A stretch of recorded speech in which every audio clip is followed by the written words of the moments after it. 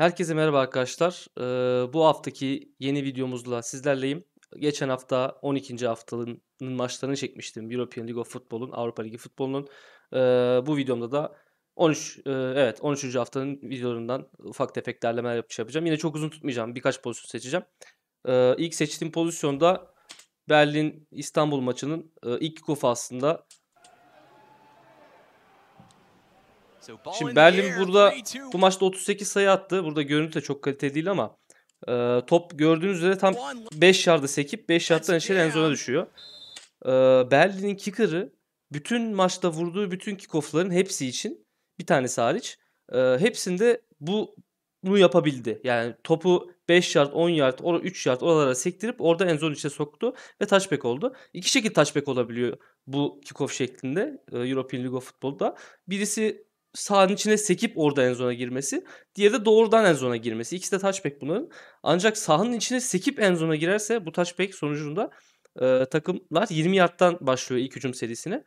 E, doğrudan en zona girerse 30 yardtan başlıyor. Dolayısıyla sahanın içinden sektirip en zona sokmak çok çok daha avantajlı. 10 yardlık bir avantaj sağlıyorsun kendine.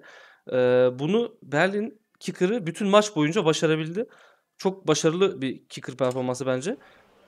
Şöyle tekrar da izleyebilirsiniz. Bu hani highlight olduğu için sadece ilk kickoff var. Diğer kickoff'ları koymamışlar ama e, gözden kaçan bir detay muhtemelen çok e, başarılı bulduğum için bunu hem koymak istedim hem de e, kickoff mantığının, ELF'deki kickoff mantığının ufak bir alt e, kural detayı olduğu için onu da paylaşmak istedim. İkinci çekmek istediğim video Rainfire Kolon maçından. E, Rainfire'ın ikinci taştanı bu.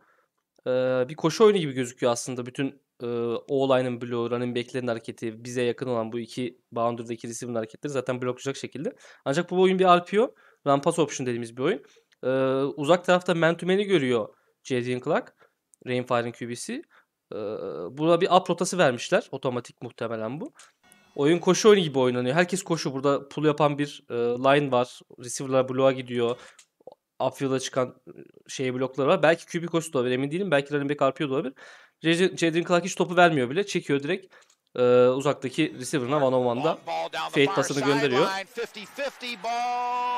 Taşlarını buluyorlar. Bu düz pas oyunu değil. RPO oyunu. E, bizim ülkemizde de oynanıyor.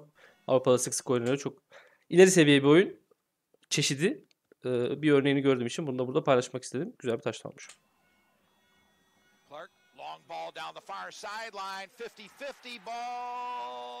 Sıradaki video yine aynı maçtan Rainfire Kolon maçından. Ee, ikinci taştan diğeri Kolon. Üçüncü taştanı engellemeye çalışıyorlar. Ve Rainfire çok iyi pas oyunları oynadığı için e, Kolon 3 fronta geçmişler. 3 kişiler rush yapıyorlar. Heavy bir coverage sistemi var. Zaten 4 kişi rotaya çıktığı için 4'e karşı e, 8 oldukça avantajlı olduklarını düşünüyorum. Ama bunun da şöyle bir dezavantajı var. Jadon Clark gerçekten paket içinde çok iyi hareket edemem bir QB. E, o olayında gerçekten durmuyor. Sürekli bloğa devam ediyor. Bu sefer de e, o olayının çok çok fazla zaman tanımış e, Jadon Clark'a. Şöyle bir izleyecek olursak 3 kişi baskı var. 2, 3, 4, 5, 6, 7, 8 saniyeye yakın bir süresi var. Jadon Clark'ın. Şimdi böyle bir durumda tam 8 kişi coverage'da 4 kişiyi rahatlıkla coverlarsınız. Yani running back'le birlikte 5 kişi rahatlıkla coverlarsınız ama bu kadar süre geçince o receiver'lar illaki sağda solda yer bulabiliyor. Oraya kaçıyor, buraya gidiyor. Coverage'ı devam ettirmek çok zor oluyor. Attığı pas da Jadon Clark'ın 5 yardtan atıyor topu. Topun tutuluya 35-60 yardlık pas çaprazlamasını da düşünürsen neredeyse 70 yard bir travel distance'ı var.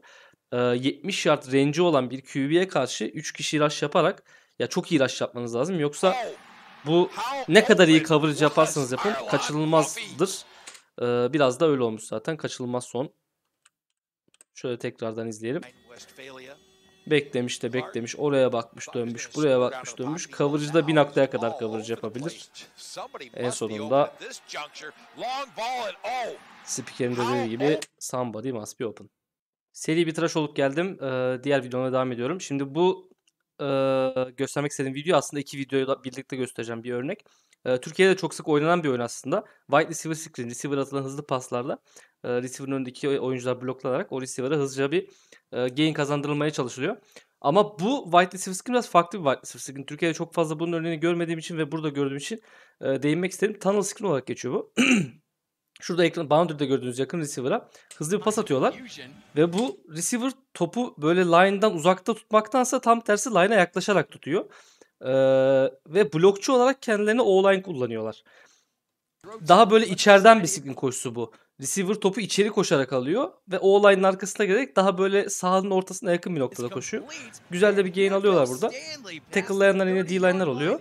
Bunun avantajı ya bu oyuncuna screen atılabileceğini düşünecek çok fazla oyuncu yok. Cornerback fazla yardım edebilir. Buradaki D-line'lar çok fazla yardıma gelmiyor zaten. Özellikle running back olmak için. D-line'ler daha çok running back screenleri ayıklardır. Receiver screenleri çok fazla ayık değildir.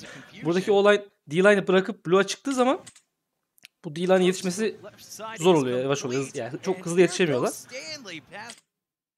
Güzel de bir gain alıyor burada Panthers. Çok birebir sayılabilecek bir örnek de yine aynı hafta Tyrell maçında olmuş. Tyrell'da üstteki şu içeride gördüğünüz receiver'a bu sefer iki receiver tarafa atmışlar ama yine boundary yapmışlar. Yine iç receiver'a pasın atıldığı yer gördüğünüz gibi de az daha içeri ve blokçular tamamen o olayını olayını olan şu üç oyuncunun üçü de o olay. Buradaki cornerback birebir receiver'a bloklatmışlar. Taşlarla sonuçlanmış. Böyle güzel bir e, oyun örneği tunnel screen olarak geçiyor. Türkiye'de çok fazla tunnel screen görmediğim için ama bol bol white receiver screen gördüğüm için e, bu örneği e, değinmek istedim. Evet 13. haftanın daha değinmek istediğim videoları olduğu için ve videoyu çok da fazla uzatmak istemediğim için burada bitireceğim. Part 2'yi çekeceğim. E, iki partı arka arkaya yayınlamayı düşünüyorum. Bu birinci partı izledikten kısa bir süre sonra ikinci partta gelecektir diye düşünüyorum. E, beğendiyseniz like atıp takip ederseniz çok sevinirim. İkinci partı da beklersiniz. Gelmek üzere bir gün iki gün zaten 14. hafta geliyor. 14. hafta önce yüklemem lazım. Ee, dediğim gibi herhangi bir ekstra dokunmamı, konuşmamı, söylememi istediğiniz şey varsa yorumlarda belirtin. Dikkat edin kendinize. İyi haftalar.